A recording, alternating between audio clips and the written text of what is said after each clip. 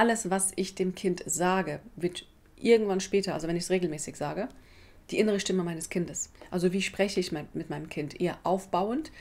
Gebe ich meinem Kind ein gutes Gefühl oder gebe ich meinem Kind ständig ein schlechtes Gefühl? Wie kann ich Blockaden bei meinen Kindern lösen? Auf meinem Kanal geht es ja ganz viel um das Thema Persönlichkeitsentwicklung, wie du dein Bewusstsein erweiterst. Und natürlich gibt es viele Eltern auf meinem Kanal, ich bin ja selber Mutter, die ihre Kinder dann beobachten, wenn sie anfangen, an sich selbst zu arbeiten und merken, hm, ich würde gerne mein Kind unterstützen, dass es selbstbewusster ist, dass es ähm, mehr an sich selbst glaubt und dass es äh, sich selbst mehr liebt. Wie kann ich das tun? An erster Stelle kannst du das tun, indem du selber mh, hm, dich selbst gut behandelst, indem du selber mh, hm, wertschätzend mit dir selbst umgehst, weil unsere Kinder lernen ähm, über Spiegelneuronen. Sie lernen immer über unser Verhalten, nicht über das, was wir ihnen sagen. Das heißt, es bringt nichts. Also wenn ich jetzt zu meinen Kindern gehe und ihnen irgendwas erzähle über Gedankenkraft und Reinigung und bla bla bla, das nervt die. Oder du musst an dich glauben, es nervt, ja. Also was heißt, es nervt, aber bringt nicht viel. Ich arbeite damit, dass ich zum Beispiel mh, hm, wenn ich in den Spiegel schaue, mich mag. Ja? Wenn ich merke, ich habe zugenommen, dass ich da nicht schlecht über mich selber rede.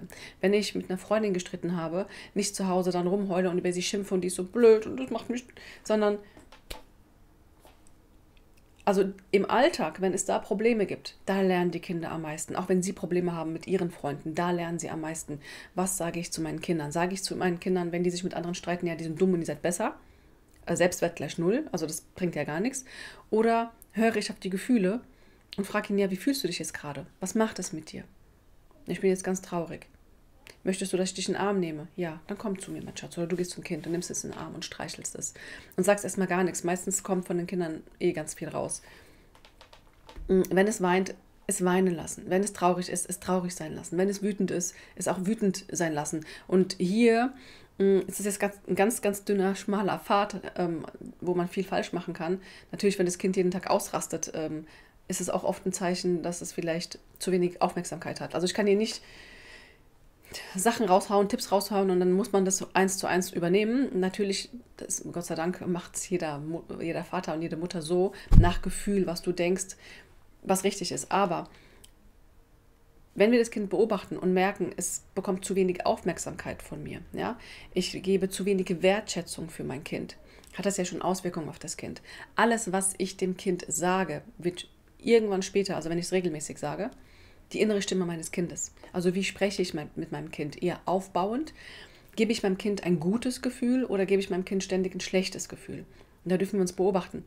Und wenn ich das jetzt hier erzähle, bedeutet es nicht, dass ich es immer richtig mache, wie oft erwische ich mich, dass ich meinen Kindern ein schlechtes Gefühl gebe. Ja, gerade was Schule betrifft und Hausaufgaben machen und lernen. Und ein Mensch, der ständig von klein auf von den Eltern schlechte Gefühle mitbekommt, beobachtet euch bitte selber. Ich glaube, alle Eltern, die jetzt zuhören, wissen ungefähr, was ich meine, ähm, weil es hört sich jetzt so an, als wären wir so böse Eltern, wenn wir ihnen schlechte Gefühle geben. Aber wir versuchen sie ja oft in eine Richtung zu bringen, gerade was Hausaufgaben betrifft oder Sauberkeit, Ordnung. Und wenn ich das aber energisch mache in einem unfreundlichen Ton oder genervt, weil ich selber genervt bin von meinem Alltag, dann nimmt das Kind das natürlich persönlich. Und deswegen ist es so, so wichtig, wenn wir Eltern sind, das ist so eine große Aufgabe, ob Erzieher, Eltern, alle, die mit kleinen Menschen zu tun haben, mit jungen Menschen zu tun haben, nicht mit kleinen, mit jungen Menschen, wie wichtig es ist, auf emotionaler Ebene mit dem Kind in Kontakt zu sein das Kind emotional nicht zu vernachlässigen, weil Essen und Trinken kriegen alle Kinder hier, hoffe ich, in Deutschland und Kleidung und Spielzeug und was auch immer.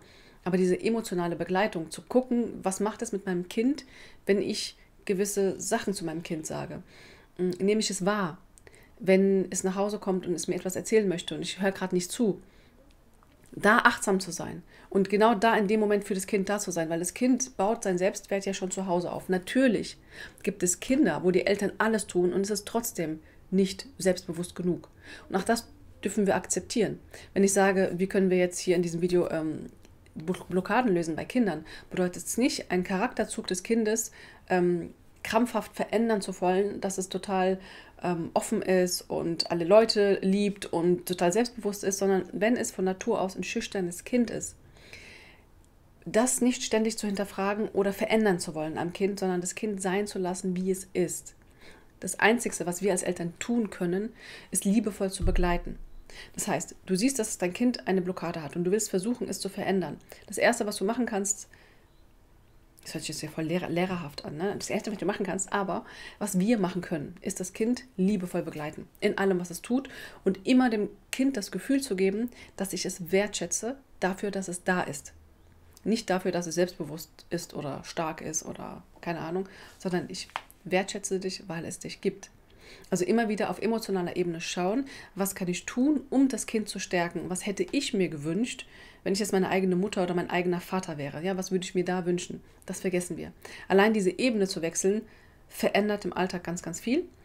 Ich falle oft noch unbewusst in die Rolle meiner Eltern mit meinen Kindern. Und da muss ich mich selbst wieder zurückerinnern. Stell dir vor, du wärst jetzt dein eigenes Kind, dann merkst du, oh nee, das wäre jetzt nicht gut. Also verändern. Das heißt, wir machen alle Fehler. Ich entschuldige mich bei meinen Kindern. Ich hoffe, ich mache das auch wirklich. Manchmal vergesse ich es wahrscheinlich. Aber bei den Kindern entschuldigen. Du, ich habe eben gerade geschimpft oder ich habe eben gerade das und das gesagt. Es tut mir leid. Ich, das war nicht böse gemeint. Ich bin gerade genervt, weil ich müde bin und weil ich keine Ahnung, was zu tun habe und habe gar keinen Bock oder keine Ahnung. Also man erklärt dem Kind, warum man sich so verhalten hat und dass dieses Verhalten nichts mit dem Kind an sich zu tun hat und dass es einem leid tut. Allein dadurch lernt auch das Kind, dass Verhaltensweisen, die andere Menschen an den Tag legen, wenn sie böse sind zu dem Kind, im Kindergarten, in der Schule oder später im Erwachsenenleben, dass es nichts mit dem Kind an sich zu tun hat, mit seinem Wert. Sein Wert ist immer da.